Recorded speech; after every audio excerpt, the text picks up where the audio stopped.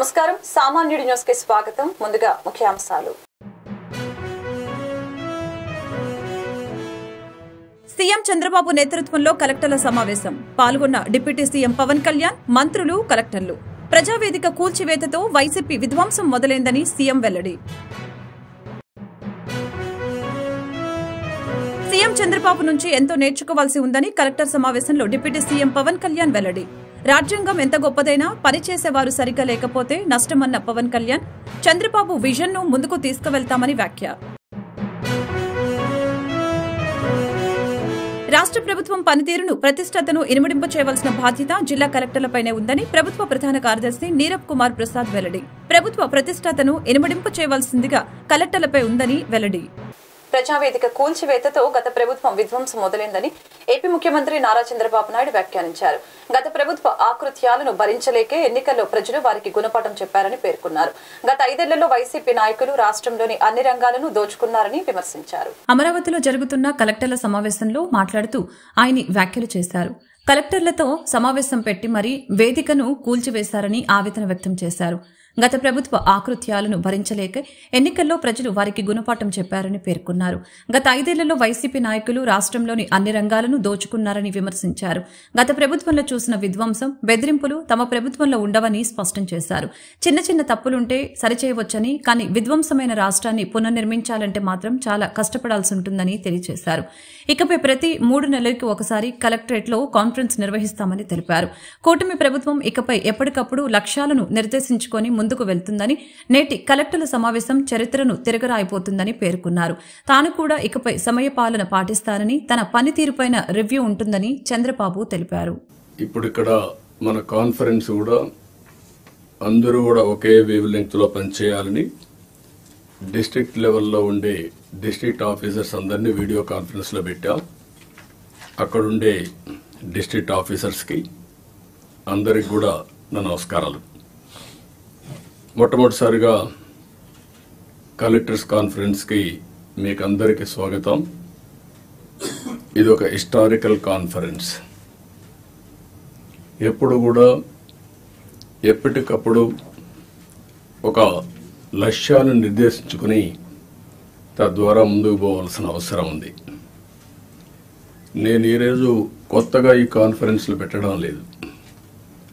Ninety ఫైవ్లో నేను ముఖ్యమంత్రి అయినప్పటి నుంచి ఇది ఫోర్త్ టైం సీఎం అయిన తర్వాత విధిగా కలెక్టర్స్ కాన్ఫరెన్స్లు పెట్టి ఏం చేయాలనేది ఒక డైరెక్షన్ ఇవ్వడం కానీ కలెక్టివ్ రెస్పాన్సిబిలిటీ గుర్తు చేస్తూ ముందుకెళ్ళాం. ఇప్పుడే మిత్రులు మాట్లాడారు. ఒక ఈరోజు మనం కాన్ఫరెన్సు ఒక చరిత్ర తిరగ రాయబోతుంది అదే సమయంలో మనందరం ఒకటి గుర్తుపెట్టుకోవాల్సిన అవసరం ఉంది. ఐదేళ్ళకు మునుపు ఒక కాన్ఫరెన్స్ పెట్టారు. కొంతమందికి ఉండే ఆఫీసర్లకి సీనియర్ ఆఫీసర్లకి అందరికీ జ్ఞాపకం ఉంటుంది. అదే ప్రజావేదికలో. ప్రజావేదికలో కలెక్టర్స్ కాన్ఫరెన్స్ పెట్టి ఆనాటి ముఖ్యమంత్రి ఈ కాన్ఫరెన్స్ అవుతానే ఈ బిల్డింగ్ను కూలగొడతామని అనౌన్స్ చేసి విధ్వంసానికి శ్రీకారం చుట్టాడు. అక్కడ నుంచి ఐదేళ్ళు అనుభవజ్ఞుడైన ముఖ్యమంత్రి చంద్రబాబు తనకు గురువని ఆయన నుంచి తనలాంటి వారు నేర్చుకోవాల్సింది ఎంతో ఉందని AP deputy CM Pawan Kalyan పేర్కొన్నారు. రాజ్యాంగం ఎంత గొప్పదైనా దానిని అమలు పరిచేవారు సరైన వారు లేకపోతే ఆ వ్యవస్థ పనిచేయదని అన్నారు. ఒక రాష్ట్రం ఎలా ఉండకూడదో చెప్పేందుకు గత ఐదేళ్ళలో రాష్ట్రం ఉదాహరణగా నిలిచిందని వ్యాఖ్యానించారు. అమరావతిలో నిర్వహించిన కలెక్టర్ల సమావేశంలో పవన్ కళ్యాణ్ ఈ వ్యాఖ్యలు చేశారు. రాజ్యాంగం ఎంత గొప్పదైనా దానిని అమలు పరిచేవారు సరిగ్గా లేకపోతే ఆ వ్యవస్థ పనిచేయలేదని పవన్ కళ్యాణ్ పేర్కొన్నారు. బలహీనమైన రాజ్యాంగం ఉన్న ప్రజల కోసం పనిచేసేవారు ఉంటే ఆ వ్యవస్థ బాగా పనిచేస్తుందని అభిప్రాయపడ్డారు. నేర్చుకోవాలని తపన ఉన్న తనలాంటి వారందరూ కలిసి వ్యవస్థని ముందుకు తీసుకువెళ్తామని పేర్కొన్నారు. చంద్రబాబు విజన్ను ముందుకు తీసుకువెళ్తామని తెలిపారు. విభజన వలన ఎన్నో ఇబ్బందులు పడ్డామని అవమానాలు ఎదుర్కొన్నామని పేర్కొన్నారు. సీఎం చెబుతున్న స్కిల్ సెన్సెక్స్కు సలహాలు సూచనలు అవసరమని వివరించారు. ఒక రాష్ట్రం ఎలా ఉండకూడదో చెప్పేందుకు గత ఐదేళ్ళలో రాష్ట్రం ఉదాహరణగా నిలిచిందని తెలిపారు. రాష్ట్రంలో ఒకే రోజు పదమూడు వేల మూడు వందల ఇరవై ఆరు గ్రామాలు గ్రామాల్లో సభలు ఏర్పాటు చేసి తీర్మానాలు చేశామని గ్రామాల్లో సాలిడ్ వేస్ట్ మేనేజ్మెంట్ అమలు చేస్తున్నట్లు పేర్కొన్నారు. పిఠాపురంలో లిక్విడ్ వేస్ట్ మేనేజ్మెంట్ను పైలట్ జెక్ట్గా చేపడుతున్నట్లు పవన్ కళ్యాణ్ తెలియజేశారు. రెండు వేల నలభై ఏడు నాటికి భారత్ సూపర్ పవర్ కావాలంటే రాష్ట్రం వికసిత ఆంధ్రప్రదేశ్ కావాల్సిన అవసరం ఉందని పవన్ నొక్కి చెప్పారు. థ్రెట్స్ కానీ ఇంక్లూడింగ్ కుటుంబ సభ్యుల మీద దాడులు కానీ ఇవన్నీ అనుభవించి వచ్చామంటే ఇంత భరించి మేము ఎందుకు వచ్చామంటే వ్యవస్థల్ని బతికించాలనే చెప్పు. గత ప్రభుత్వం కళ్ళ ముందే మీలాగా చదువుకొని సివిల్ సర్వీసెస్లోకి వచ్చి మీరు ఎంత కష్టపడి ఐఏఎస్లు చదివి ఉన్నాలో ఎంత పోటీ పడి లక్షలాది మంది పోటీ పడితే a handful of collectors would come out and emerge out అలాంటి ఒక ఇమినెంట్ వ్యవస్థని బలోపేతమైన వ్యవస్థని గత ప్రభుత్వం దాన్ని ఒక ఆటబొమ్మలో చేయడం మా అందరికీ చాలా బాధ కలిగించింది. మేమందరం కూడా దేనికి బయటకు వచ్చామంటే ఈ వ్యవస్థను బలోపేతం చేయాలి వ్యవస్థలు బలహీనం చేస్తారని చెప్పి at the cost of our life దెబ్బలు తిని ఒకవేళ మేము రాకపోయినా కానీ ప్రజాక్షేత్రంలో నిలబడి దీని ఈ వ్యవస్థని బలోపేతం చేయాలి ఉద్దేశంతో ఇక్కడికి వచ్చాం. But God's grace and people's commitment they save the democracy they brought us into power ఎందుకు మీకు ఎందుకు దృష్టిలో ఉన్నా చెప్తున్నాం అంటే we are here to strengthen you we are here to empower you we are here to stand by you for good governance and accountable governance ఇన్ని దశాబ్దాలుగా ఇప్పుడు ఆంధ్రప్రదేశ్ ఉమ్మడి ఆంధ్రప్రదేశ్ కానీ విభజిత ఆంధ్రప్రదేశ్ కానీ ఎప్పుడు ఇంత ఇబ్బంది పడలేదు. గత ఐదేళ్ళుగా ఆంధ్రప్రదేశ్లో పాలన ఎలా ఉందో చూశారు. గతంలో చాలామంది నా సన్నిహితులు సహచరులు కొంతమంది చెప్తా ఉన్నారు. ఇదివరకు ఆంధ్రప్రదేశ్లో పనిచేయాలి బ్యూరోక్రాట్స్ అని అనుకున్న ఐఏఎస్లు కానీ ఐపీఎస్లు కానీ ఎనీ సర్వీసెస్ నుంచి పోటీ పడేవాళ్ళం. రాష్ట్ర ప్రభుత్వ పనితీరును ప్రతిష్టతను ఇనువడింప చేయవలసిన బాధ్యత జిల్లా కలెక్టర్లపైనే ఉందని ప్రభుత్వ ప్రధాన కార్యదర్శి నీరబ్ కుమార్ ప్రసాద్ అన్నారు. ప్రభుత్వం చేపట్టిన ఎన్టీఆర్ భరోసా పెన్షన్ల పంపిణీలో జిల్లా కలెక్టర్లు చూపిన చొరవను అభినందిస్తున్నానని చెప్పారు. రాబోయే వంద రోజులు ప్రణాళిక జిల్లాలు ఒక సఫలీకృతమై. ప్రగతి పదంలో పరిడవిల్లేలా మీరందరూ పనిచేస్తారని ఆశిస్తున్నట్లు తెలిపారు. సచివాలయంలో ముఖ్యమంత్రి నారా చంద్రబాబు నాయుడు నేతృత్వంలో జరిగిన జిల్లా కలెక్టర్ల సదస్సులో ప్రభుత్వ ప్రధాన కార్యదర్శి నీరబ్ కుమార్ ప్రసాద్ ప్రారంభోత్సవ ఉపన్యాసం చేశారు. ఇప్పుడు నిర్వహిస్తున్న ఈ సదస్సు అత్యంత కీలకమైంది. రాష్ట్ర పునర్నిర్మాణానికి ఎంతో కీలకమైంది.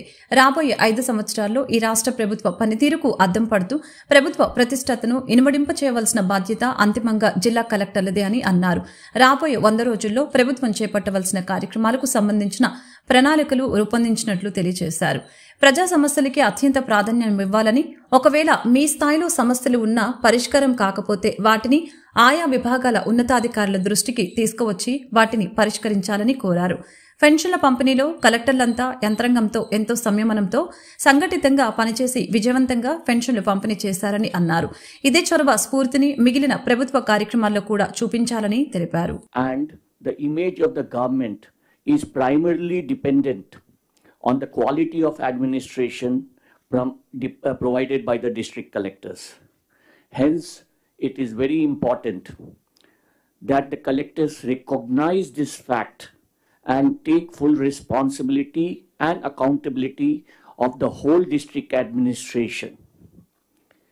A significant and discernible difference should be visible in the district administration to all in Andhra Pradesh and even outside immediately within 100 days by your advance actions, planning, scheme implementations, responses to incidents, and leadership of your districts. Citizens are the cornerstone of the new government, and it is essential that all the grievances of the people are appropriately and timely addressed.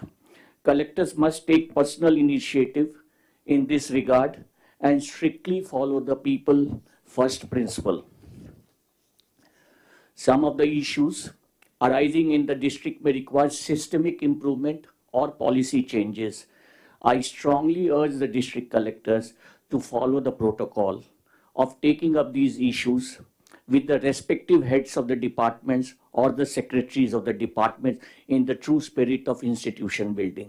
Court order కాపీలోని అంశాలను అమలు చేయమని అడిగిన లాయర్లపై పోలీసులు కేసులు నమోదు చేయడం వలన ఇది చాలా దుర్మార్గమని బార్ అసోసియేషన్ అధ్యక్షులు కాసు వెంకటరెడ్డి ఆరోపించారు.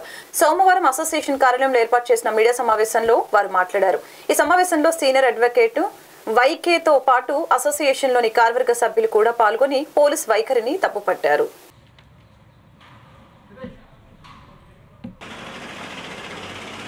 పోలీసు వారు అడ్వకేట్లపై అక్రమ కేసులు పెట్టిన దానికి నిరసనగా ఈరోజు గుంటూరు జిల్లా వ్యాప్తంగా బాయ్కట్ చేయడం జరిగింది. ఒక అడ్వకేటు కోర్టు ఆర్డర్ ప్రకారం కమిషనర్గా వెళ్తే ఆ కమిషనర్గా వెళ్ళిన వ్యక్తి మీద కేసులు పెట్టడం. రెండోది ఒక ముద్దాయికి బెయిల్ వేశారనే ఉద్దేశంతో ఆ ఆ వ్యక్తి మీద కూడా పోలీసులు వాడు కేసులు పెట్టడం చాలా దుర్మార్గం. కాబట్టి ఇది మేము ఖండిస్తున్నాం.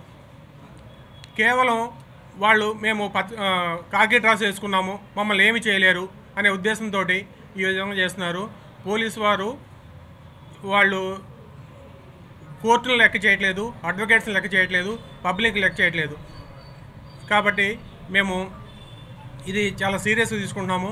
ఇప్పుడు ఈ విధంగా ఈ అడ్వకేట్ మీద కోర్టు కమిషనర్గా వెళ్ళిన అడ్వకేట్ మీద ఎఫ్ఐఆర్ రిజిస్టర్ చేసిన వ్యక్తిని ఎస్ఐని కానీ సిఐని కానీ వాళ్ళని సస్పెండ్ చేయాలని చెప్పేసి మేము కోరుతున్నాం.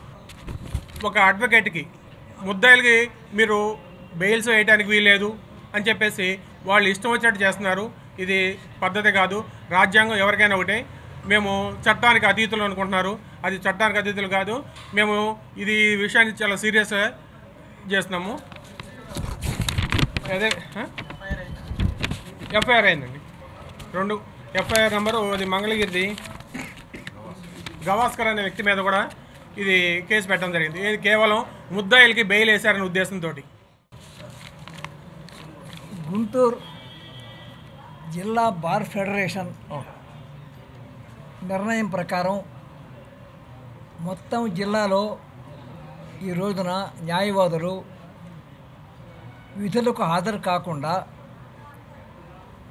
తమ క్లయింట్లకి ఒక రకంగా ఇబ్బంది కలిగినా కూడా ఈ చర్యకు ఎందుకు దిగవలసి వచ్చిందో సమాజం అర్థం చేసుకోమని ప్రభుత్వాధికారులు అర్థం చేసుకోమని పోలీసు ఉన్నతాధికారులు అర్థం చేసుకోమని గుంటూరు బార్ అసోసియేషన్ తరఫున మేము కోరుతా ఉన్నాం. ఒక లాయర్ మీద చేయి చేసుకోవడం కానీ దౌర్జన్యపూరితంగా వ్యవహరించడం కానీ కేసులు పెట్టడం కానీ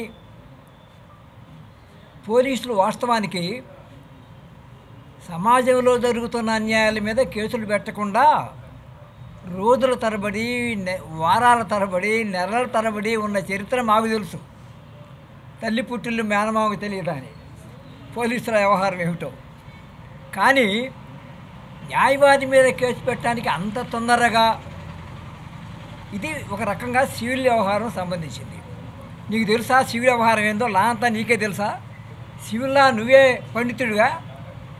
మేమే ఆత్మగౌరవాన్ని కాపాడుకోలేకపోతే మా క్లయింట్స్ ఆత్మగౌరవాన్ని ఏం కాపాడతాం? మా హక్కులే మేము కాపాడుకోలేకపోతే మా క్లయింట్స్ హక్కులు మేమేం కాపాడతాం?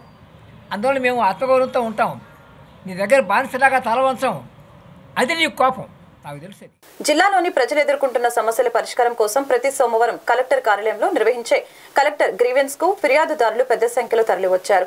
గ్రీవెన్స్కు హాజరైన ఫిర్యాదుదారుల వద్ద నుంచి డిప్యూటీ కలెక్టర్లు అర్జీలను స్వీకరించడం జరిగింది. అనంతరం గ్రీవెన్స్ వద్ద కలిసిన మీడియాతో ఫిర్యాదుదారులు తమ సమస్యల్ని వివరించి ఆవేదన వ్యక్తం చేశారు.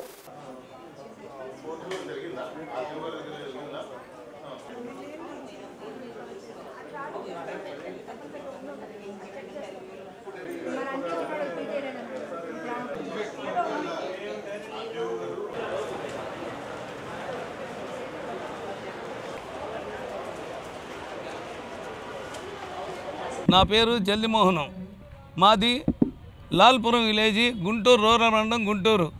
నేను ఎస్సీ మాలకులకు చెందినవాడిను. మాకు కాంగ్రెస్ ప్రభుత్వంలో ఎనభై ఎనభై ఎనిమిది ఎనభై తొమ్మిదిలో ఎస్సీ ఎస్టీలకి పట్టాలు ఇచ్చి ఉన్నారు. ఆ పట్టాల్లో గవర్నమెంట్ వారు ఇందిరా యోజన పథకం కింద ఇల్లు కట్టించి మాకు దొడ్లు కట్టించి ఇచ్చినారు.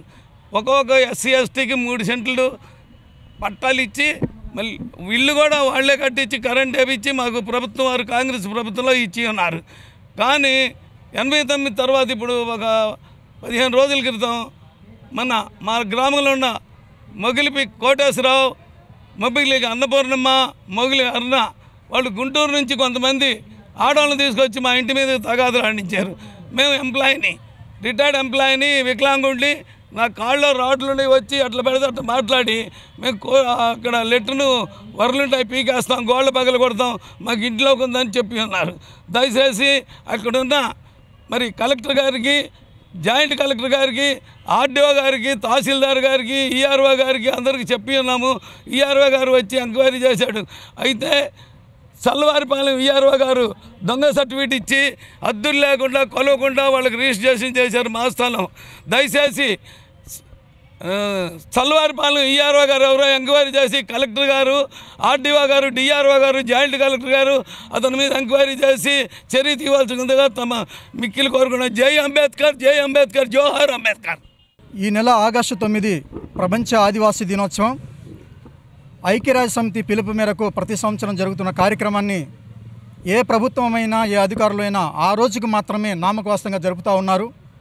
మేము గిరిజన ప్రజా సంఘాల ఆధ్వర్యంలో అన్ని ప్రాంతాల్లో మరి ప్రపంచానికి న్యాయస్థానమైనటువంటి ఐక్యరాజ్య సమితి వారు నూట నలభై దేశాల ప్రతినిధులతోటి భారతదేశ వ్యాప్తంగా సర్వే చేసిన క్రమంలో ఆదివాసులు ఇంకా విద్య వైద్య ఆర్థిక రంగంలో చాలా వెనుకబడి ఉన్నారు.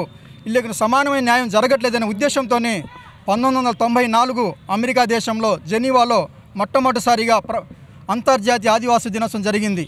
ఈ కార్యక్రమాన్ని భారతదేశంలో ప్రపంచ దేశాల్లో మరి ఆదివాసుల యొక్క సంస్కృతి సాంప్రదాయాలను కాపాడుకోవడం కోసం ఆ యొక్క కార్యక్రమాన్ని నిర్వహిస్తూ ఉన్నాం. ప్రభుత్వం వారు ప్రతి సంవత్సరం మాకు బడ్జెట్ లేదు నామకవాస్తంగా రెవెన్యూ కళ్యాణం నిర్వహిస్తూ ఉన్నారు. దయచేసి ప్రజా సంఘాలుగా ప్రతినిధులుగా మేము అందరం అడుగుతూ ఉన్నాం. గత ఐదు సంవత్సరాల కింద గిరిజన భవనం అడవి తక్కిలపాడు ఊరిలో కట్టి ఉన్నారు. కోట్ల రూపాయలు పెట్టి గిరిజన భవనం కట్టి ఉంటే ఈ రోజు కూడా దాన్ని జాతికి అంకితం చేసి ఉపయోగంలో రాకపోవడం వల్ల అది శిథిలావస్థలో చేరింది.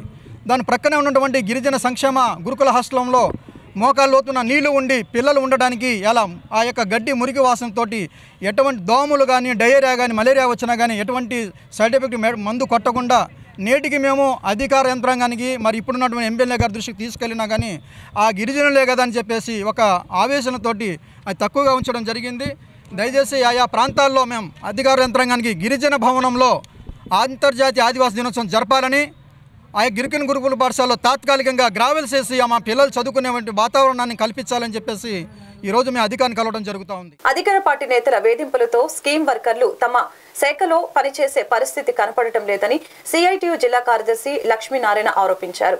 స్కీమ్ వర్కర్లపై రాజకీయ వేధింపులు ఆపాలని డిమాండ్ చేస్తూ సోమవారం కలెక్టర్ కార్యాలయం వద్ద ధర్నా చేపట్టారు. ఈ ధర్నా కార్యక్రమంలో రాష్ట్ర నాయకులు నేతాజీతో పాటు పలువురు స్కీమ్ వర్కర్లు కూడా హాజరయ్యారు రాష్ట్ర ప్రభుత్వం అధికారంలోకి వచ్చిన తర్వాత స్కీమ్ వర్కర్లు అదేవిధంగా చిన్న కాంట్రాక్ట్ అవుట్సోర్సింగ్ ఉద్యోగులపై తీవ్రంగా రాజకీయ వేధింపులు తొలగింపులు పెరిగిపోతున్నాయి. ఇప్పటికే అనేక సార్లు కలెక్టర్కి జిల్లా కలెక్టర్కి ఈ అంశంపై రిప్రజెంటేషన్ ఇచ్చినప్పటికీ రోజు రోజుకు పెరుగుతున్నాయి తప్ప తగ్గే పరిస్థితి మన జిల్లాలో కనిపించట్లేదు. కాబట్టి ఇప్పటికైనా రాజకీయ నాయకులకు సంబంధించి ఎటువంటి కారణాలు లేకుండా స్కీమ్ వర్కర్లపై తొలగింపులు సరైనది కాదని చెప్పేసి మేము సిఐటిగా భావిస్తున్నాం. అందుకే ఈరోజు రాష్ట్ర వ్యాప్తంగా స్కీమ్ వర్కర్లు చిన్న ఉద్యోగుల తొలగింపుకు వ్యతిరేకంగా ఈరోజు రాష్ట్ర వ్యాప్తంగా ధర్నాలు నిర్వహించడం జరుగుతుంది. దానిలో భాగంగా గుంటూరులో కూడా ఈ నిరసన కార్యక్రమం చేపట్టడం జరిగింది. ప్రధానంగా మన గుంటూరు జిల్లాలో ఇప్పటికీ రెండు వందల మందిని స్కీమ్ వర్కర్లను తీసేయడం జరిగింది. మీరు అధికారంలోకి వస్తే టీడీపీ మా బతుకులు బాగుపడతాయని చెప్పేసి అందరూ ఆశించారు. కానీ ఈ ప్రభుత్వం అధికారంలోకి వస్తే ఉన్న బ్రతుకుని కూడా ఊడిగం చేసే పరిస్థితి ఈరోజు రాష్ట్ర ప్రభుత్వం తీసుకుంది. కాబట్టి ఇది సరైనది కాదు. మరోపక్క చంద్రబాబు నాయుడు గారు మంత్రులు మా అసెంబ్లీలో మాట్లాడుతూ ఏ ఒక్కరిని కూడా ఉద్యోగం నుంచి తొలగించమని చెప్పేసి ఓ పక్క చెబుతున్నారు. కానీ ఆచరణలో కింద స్థాయి నాయకులు లిస్టులు తయారు చేయడం అధికారులు దానికి వంతపాడుతూ అనేక మందిని తీసేస్తున్నారు. ఇది సరైనది కాదు.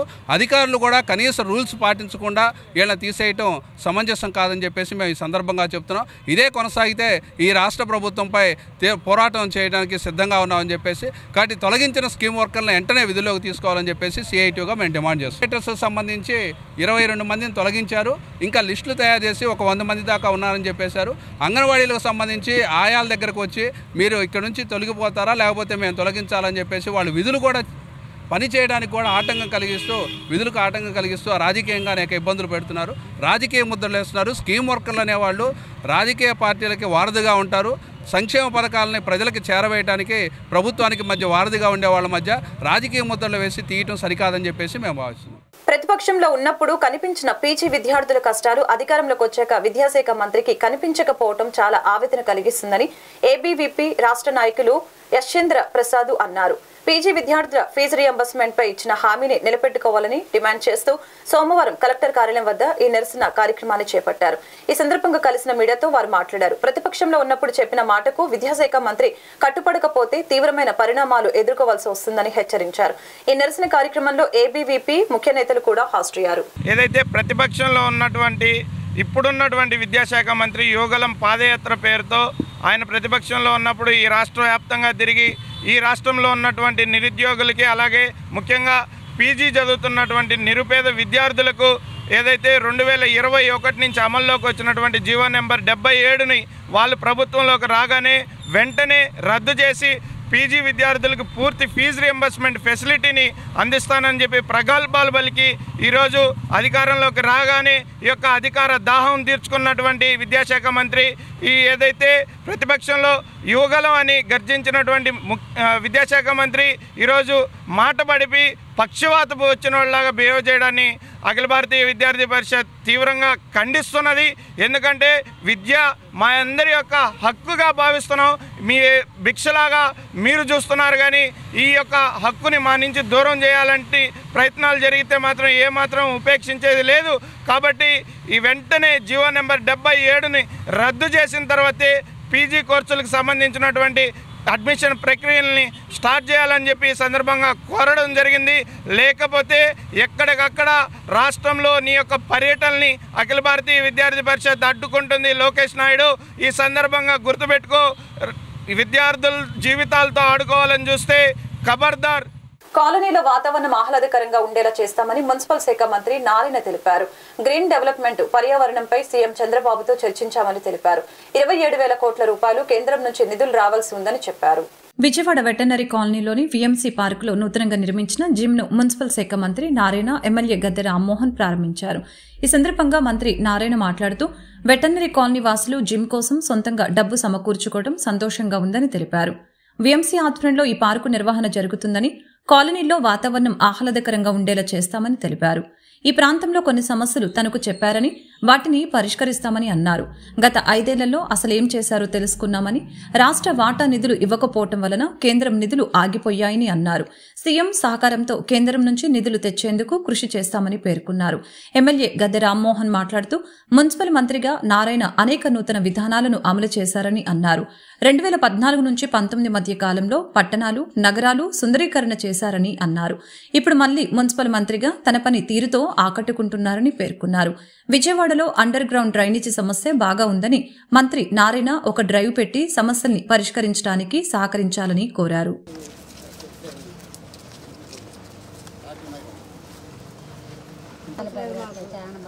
పింఛన్లు కూడా తీసాను రైతు పింఛన్లు కూడా. ఇరవై సంవత్సరాలు అయింది మా భర్తలు పోయి. అన్ని తీశారు సార్ ఏం లేవు. పదకొండు వేలు పన్నెండు వేలు జీతాలు మేము. తినాలంటే మాకు అసలు. అద్దెలు కట్టుకోవాలా పింఛన్లు తీసారు పదమూడు వేలు వస్తుంది చెప్పండి. పదమూడు పది పదివేలే మన అంతకుముందు తొమ్మిది రేటు ఉండేది మన రెండు వేల పద్నాలుగు పంతొమ్మిదిలో పెంచారు.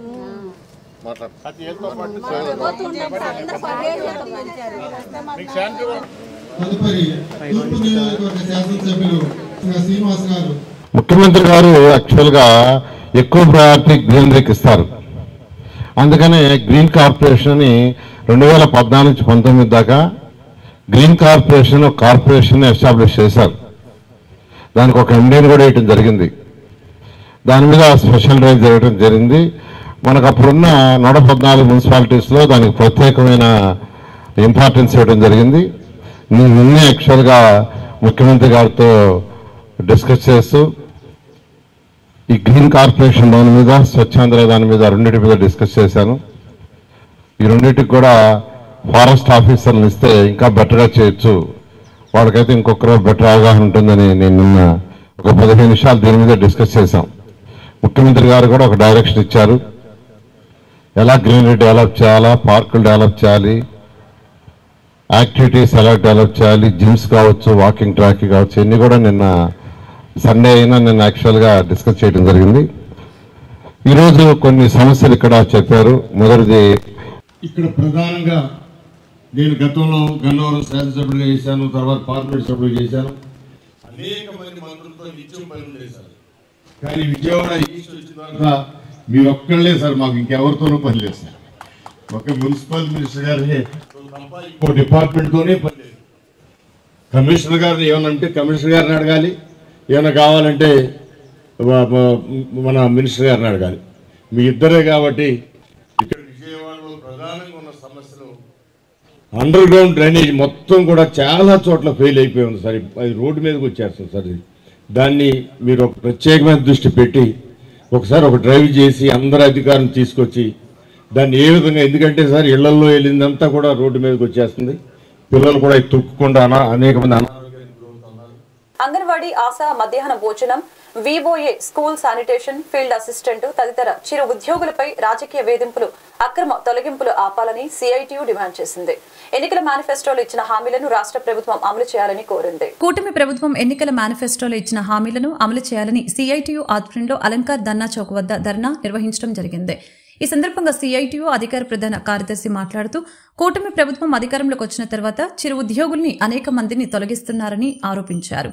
తొలగింపు అనేది చట్టవిరుద్ధమని తెలిపారు. ఈ చిరు ఉద్యోగులు అరవై సంవత్సరాల వరకు పనిచేయడానికి నియమించబడ్డ వారని తెలిపారు. నోటీసులు ఇవ్వకుండా తొలగిస్తున్నారని రాజకీయ వేధింపులు ఎక్కువయ్యాయని ఆరోపణలు గుప్పించారు. తొలగించిన చిరుద్యోగులు అందరినీ వీధుల్లోకి తీసుకొని రావాలని డిమాండ్ చేస్తున్నామని తెలియజేశారు. Anganwadi workers and welfare NTR జిల్లా కార్యదర్శి సుప్రజ మాట్లాడుతూ కూటమి ప్రభుత్వం రెండు నెలలు గడవక ముందే రాజకీయ వేధింపులకి గురి చేస్తున్నారని ఆరోపించారు.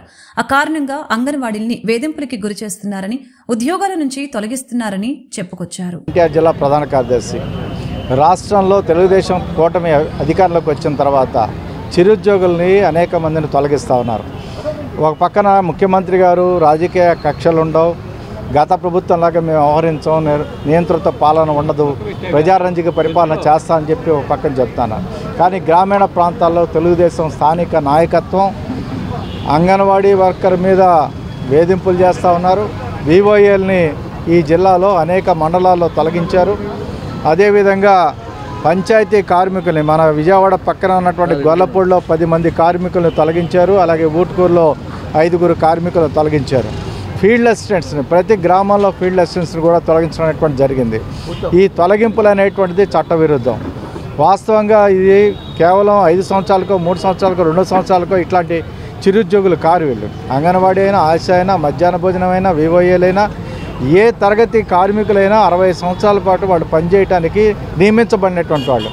కనీసం ఎటువంటి నోటీస్ లేకుండా అకారణంగా చట్ట వ్యతిరేకంగా వీళ్ళని తొలగిస్తున్నటువంటి పరిస్థితి ఉంది.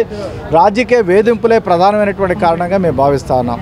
కొంతమందిని బలవంతంగా కూడా ఫీల్డ్ అసిస్టెంట్ని వివోఎల్ని రాజీనామా చేయించినటువంటి పరిస్థితి కూడా ఉంది.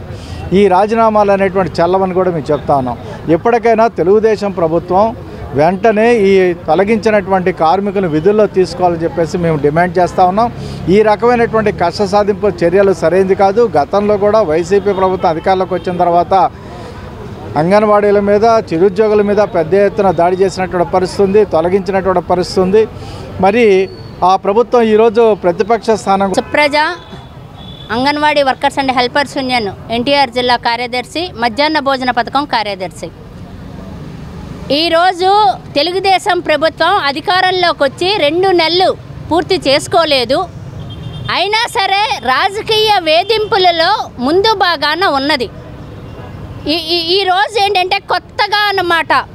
అంగన్వాడీ కార్యకర్తలు గతంలో వాళ్ళ కుటుంబాలలో ఏమన్నా కేసులు ఉంటే వాటిని బయటకు తీసుకువచ్చి అంగన్వాడీ కార్యకర్తల పేర్లను కూడా జోడించి వాళ్ళకి ఎఫ్ఐఆర్లు నమోదు చేయించి మీకు ఎఫ్ఐఆర్ ఉంది కాబట్టి మీ అంతటా మీరే మేం తీసేయటం కాదు. మీ అంతటా మీరే రాజీనామా చేసి వెళ్ళిపోండి అని చెప్తున్నారు. అధికారులు కూడా దీనికి వత్తాసు పలుకుతున్నారు. ఎందుకమ్మా వచ్చిన గొడవ? నువ్వు వెళ్ళిపో రాజీనామా చేసి వెళ్ళిపో అని చెప్తున్నారు. అదేవిధంగా మధ్యాహ్న భోజన పథకం గంపలగూడెంలో పన్నెండు మందిని తీసేశారు. జగ్గయ్యపేటలో నలుగురిని తీసేశారు. తర్వాత మనకి వివోఏలు ఇప్పుడు వీర్లపాడు మండలంలో తీశారు. జీకొండూరు మండలంలో తీసేస్తున్నారు. ఎక్కడ చూసినా అంగన్వాడీ ఆశ మధ్యాహ్న భోజన పథకం వివోఏలు ఇలా వీళ్ళందరి మీద గ్రామ పంచాయతీ వాళ్ళు ఈ ఈ చిరు ఉద్యోగులు ఈరోజు ఈ ప్రభుత్వం వస్తే వాళ్ళ బతుకులు బాగుపడతాయి అని గత ఐదు సంవత్సరాలు ఉన్న ప్రభుత్వం మీద విసికి హిందూపూర్లో సంబంధం లేకపోయినా న్యాయవాది కాంగ్రెస్ పార్టీ నాయకుడు రాజ్ సంపత్ పై కేసు పెట్టి పోలీసులు హింసించారని మే ఇరవై తొమ్మిదో తేదీన ప్రత్యర్థులు సంపదను బలవంతంగా తీసుకువెళ్ళి హత్య చేసిన ఇంతవరకు చర్యలు లేవని మాజీ ఎంపీ హర్ష కుమార్ ఆరోపించారు. హోంమంత్రి అనిత దృష్టికి తీసుకువెళ్ళినా ఇప్పటి వరకు చర్యలు శూన్యమని అన్నారు. మూడు నెలలైన తెలుగుదేశం పార్టీ ప్రభుత్వం హంతకులను అరెస్టు చేయలేదంటే వైకాపా ప్రభుత్వం చేసినట్లే తెలుగుదేశం పార్టీ కూడా చేస్తుందని ఆరోపించారు.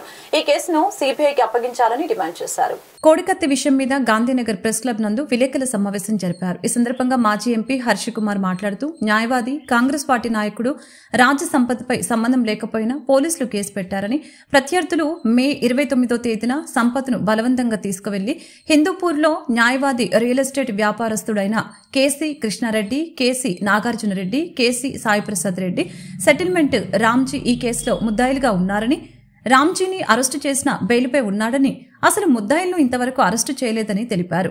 రాష్ట్ర పోలీసులపై నమ్మకం లేదని ఈ కేసును సిబిఐకి అప్పజెప్పాలని ఆయన డిమాండ్ చేశారు. So Sampath Kumar advocate murder కేసుల ఫ్లా అంటే దానిలో లోపలలో ఏమున్నాయి పోలీసు వాళ్ళు చేసిన హస్తం ఏముంది అంటే మీరు అర్థం చేసుకోండి సంపత్ కుమార్ మర్డర్ అయిన తర్వాత ముద్దాయిలకు పట్టి పట్టుకున్న తర్వాత పోలీసు వాళ్ళు ఇప్పుడు వరకు పోలీస్ కస్టడీ చేసి వాళ్ళని ఏది డీటెయిల్స్ లాగలేదు.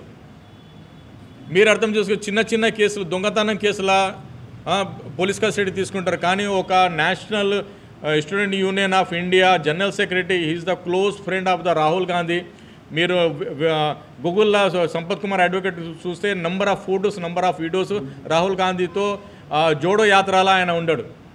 ఆయన is a in-charge of the Kerala election campaigner so ఆ అటువంటి మనిషి మర్డర్ అయిన తర్వాత కూడా ఇప్పుడు వరకు పోలీసు వాళ్ళు మర్డర్ చేసిన ముద్దాయిలకు నలుగురు పట్టిన తర్వాత కూడా పోలీస్ కస్టడీ కస్టడీలో ఇంట్రాగేషన్ చేయలేదు ఇన్వెస్టిగేషన్ చేయలేదంటే ఎంత పోలీసు హ్యాండ్ ఇన్ గ్లో ఉంది ముద్దాయిలతో మీరు అర్థం చేసుకుంది.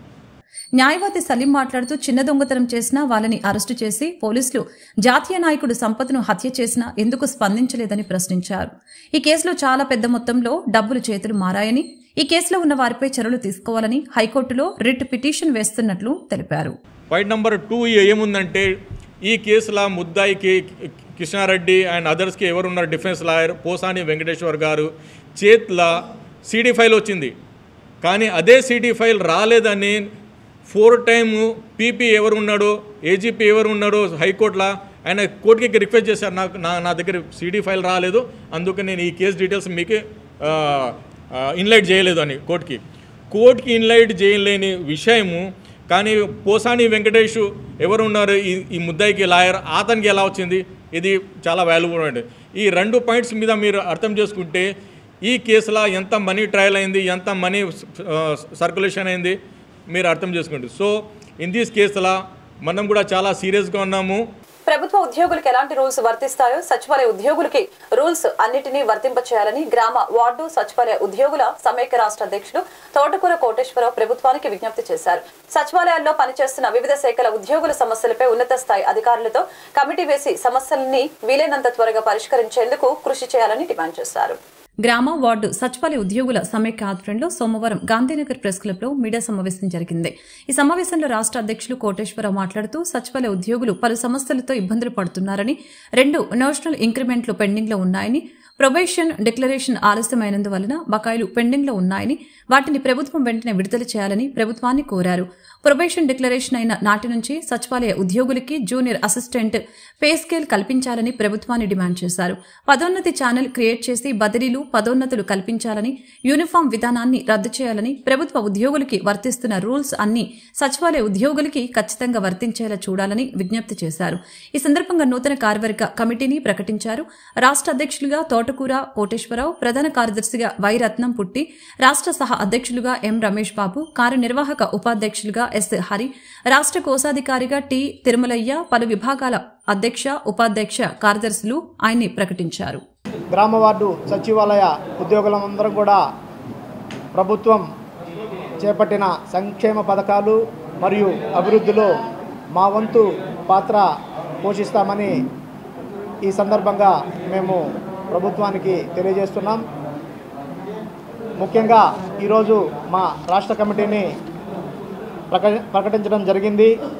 రాష్ట్ర అధ్యక్షులుగా తోటకూర కోటేశ్వరరావు రాష్ట్ర ప్రధాన కార్యదర్శిగా వై రత్నం పుట్టి రాష్ట్ర సహాధ్యక్షులుగా ఎం రమేష్ బాబు రాష్ట్ర కార్యనిర్వాహక ఉపాధ్యక్షులుగా ఎస్ హరి రాష్ట్ర కోశాధికారిగా టి తిరుమలయ్య రాష్ట్ర ఉపాధ్యక్షులుగా K Ravikumar Reddy K Ashok Kumar T Mohan Rao M Ram Charan రాష్ట్ర సంయుక్త కార్యదర్శులుగా Kola Nagababu P. Siddheshwar Reddy V. Karunakar P. Nagamohan రాష్ట్ర ప్రచా ప్రచార కార్యదర్శులుగా M. Venkatakishore M. Suresh K. Damodar Reddy.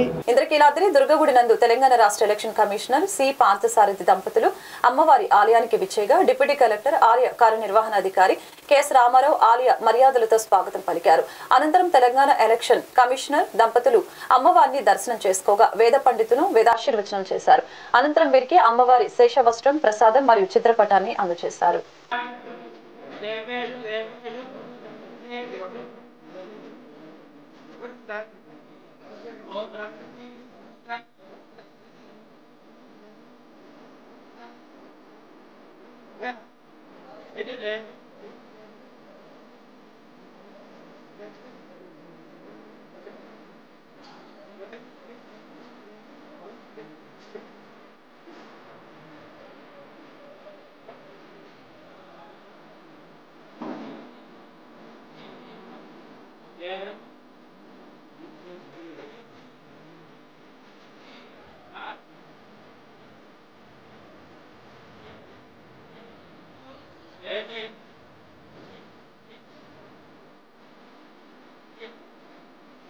వార్త ముగించే ముందు ముఖ్యాంశాలు మరొకసారి. సీఎం చంద్రబాబు నేతృత్వంలో కలెక్టర్ల సమావేశం. పాల్గొన్న డిప్యూటీ సీఎం పవన్ కళ్యాణ్ మంత్రులు కలెక్టర్లు. ప్రజావేదిక కూల్చివేతతో వైసీపీ విధ్వంసం మొదలైందని సీఎం వెల్లడి.